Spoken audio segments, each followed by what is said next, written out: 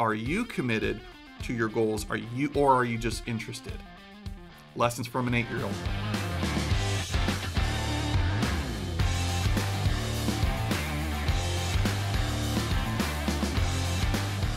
Last night, we had a proud parent moment regarding our eight year old daughter. So I get this message from my wife that uh, she had taken the kids to soccer practice or was taking the kids to soccer practice.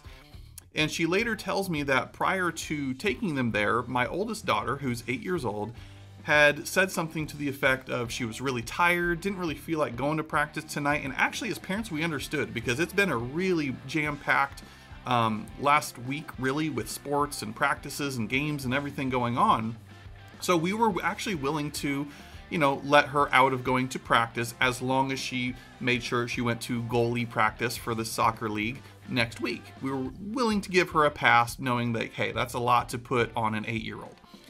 Long story short, she also included in that message how, how my oldest daughter thought for 30 minutes. She was just gonna not make any rush decisions, but she took it upon herself. By the way, how mature of her to do, right?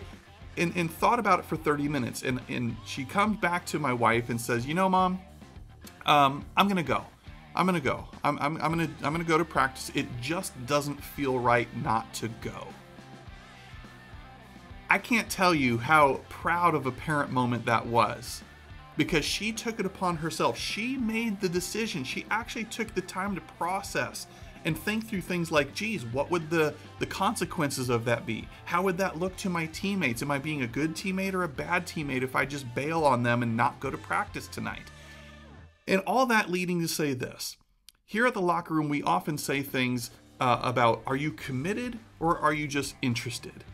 And this is a lesson right here and of itself that my eight year old daughter God love her, was committed. Because what we say is commitment is doing what you said you were going to do long after the feeling or emotion in which you said it has passed. It's operating out of integrity, doing what you said you were going to do. I signed up to play soccer. I signed up to go to this extra practice for goalies. And she committed to it, and in a moment when she didn't really feel like going, she did it anyways right? And I think that's such a lesson in commitment. Whereas being interested, it's more about convenience, more about dabbling, right? It's it's like, hey, look, if if it works out, great, or I'll come to the party. Basically, if nothing else better shows up, that's just being interested in something. And in that moment, our children can teach us so much, right? She was committed. She did what she said she was going to do long after the feeling or emotion when she said it has passed. She made a decision right? And when I make a decision, that means decide. Side literally means to kill off.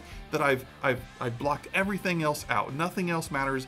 This is what I'm doing. I've said no to complacency, mediocrity, being average, excuses, all the stuff because I've made a decision.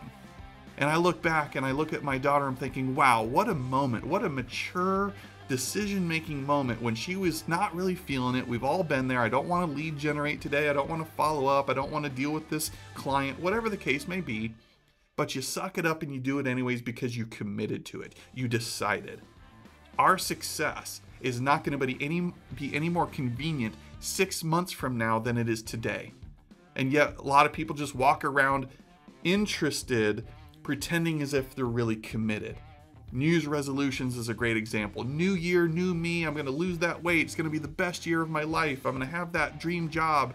Blah, blah, blah, blah, blah. And yet, two weeks, let alone six months, goes by, and we've all but forgotten.